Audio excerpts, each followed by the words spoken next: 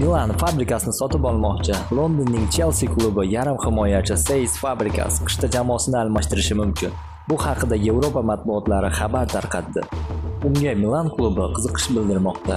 Tez orada rossonierlar fabrikis bo'yicha taklif bilan chiqishni rejalashtirmoqda. Chelsi klubi ustozi antonio kante fabrikasni o'z rejalariga kiritishni istamayapti. Shundan kelib chiqib ispaniyalik futbolchi london klubini tark etishi kutilmoqda.